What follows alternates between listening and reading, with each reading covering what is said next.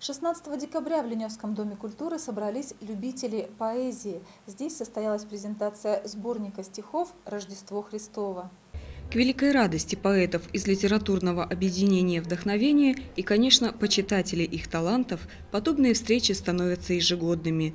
Сборник стихов «Рождество Христово» печатался в прошлые годы. Свежеиспеченные издания местные поэты презентовали и в этом. Во Дворце культуры города Куйбышева Новосибирской области, который раньше назывался Каинск, состоялся четвертый открытый литературный конкурс-фестиваль «Рождество Христово».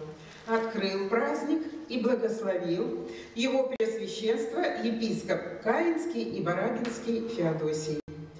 Количество участников этого красивого, теплого, доброго фестиваля увеличивается с каждым годом. Если на первом фестивале было 37 человек, то в 2017 году было подано 140 заявок на участие. Расширяется география фестиваля. Кроме районов, уже всех районов Новосибирской области, добавляются другие города России. В этот раз добавились Магнитогорск, Санкт-Петербург, Белоруссия и города Германии Бонн и Дюссельдорф. В стихах и прозаических произведениях, поданных на фестиваль, отражается важнейшее событие в истории человечества – Рождество, рождение Христа Спасителя и понимание детьми и взрослыми вечных ценностей – добро, милосердие, любовь. При подведении итогов конкурса «Рождество Христово» каждый участник получил в подарок икону. Многие награждены были дипломами фестиваля, некоторые стали лауреатами. Очень бы хотелось выразить вам свою благодарность, даже, наверное, вам поклониться, потому что в наше время, к сожалению, мало кто все-таки в руки берет книги или вообще имеет какое-то к ним отношение серьезное отношение. И поэтому, может быть, благодаря таким, как вы, вот, таким людям, которые уважают все-таки, ну, можно, если так опять же выразиться, такую письменную, стихотворную даже культуру, вот, может, молодежь, глядя на вас, как-то к этому тоже потянется и будет вас для себя брать как за образец. Участники литературного объединения «Вдохновение» – постоянные конкурсанты всевозможных поэтических состязаний. Самое активное участие приняли они и в конкурсе «Рождество Христово». Все участники ленивцы стали призерами фестиваля. И так было все четыре года, которые мы участвовали в нем. Ну а сейчас я хочу, я буду приглашать к микрофону наших с вами земляков, участников – этого ежегодного фестиваля. Со всегда присущей творческим людям долей смущения авторы стихов один за другим выходили к микрофону, чтобы процитировать строки своих стихов по тематике встречи. Сегодняшний, можно сказать, для нас праздничный этот день. Очень хорошо, что в приятную погоду, в такую. Все вокруг волшебно, очень красиво. Это еще больше вдохновляет красоте неземной, сотворяя молитву, Зазвенит в поднебесье сердечная нить. Кто за душу твою отправляется в битву, Умирая в надежде, что ты будешь жить?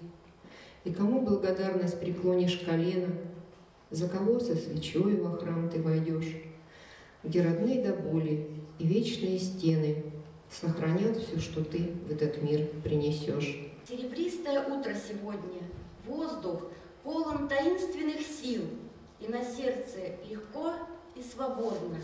Мир в крещении очень красив.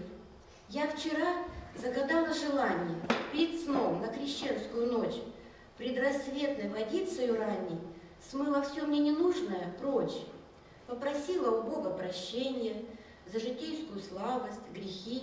Все, все, чем сердце живет, непременно я незримо вложила в стихи укрепляет надежду и веру.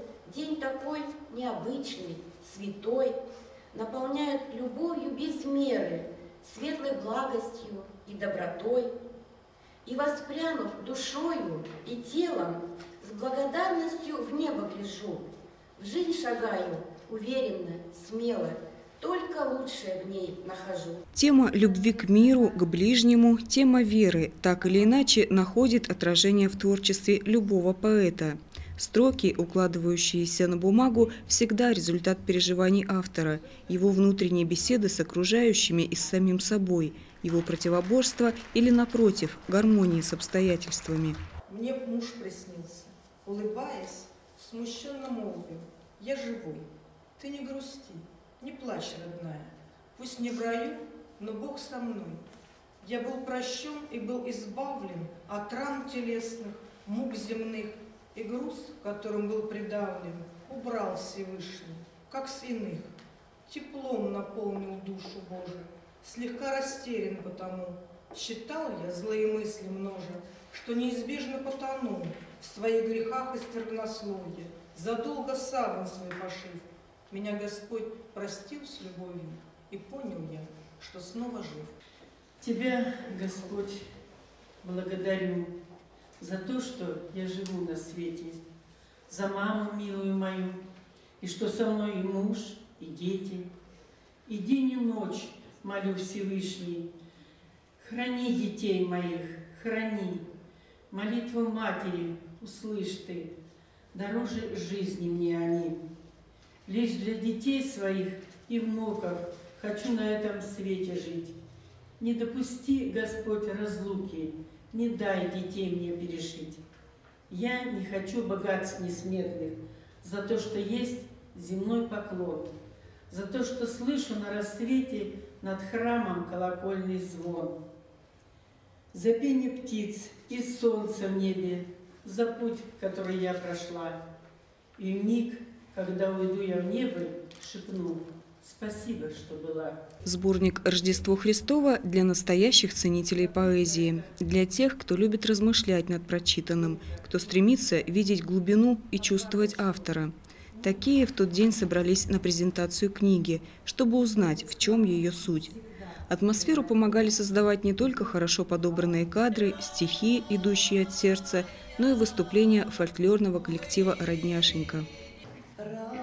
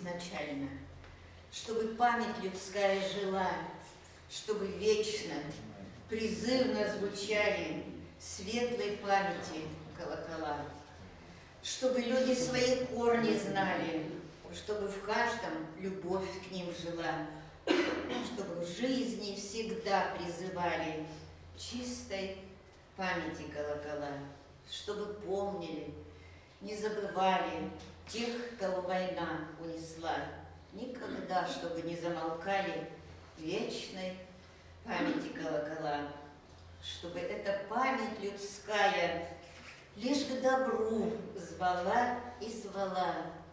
Пусть звонят, и звонят, не смолкая, нашей совести колокола.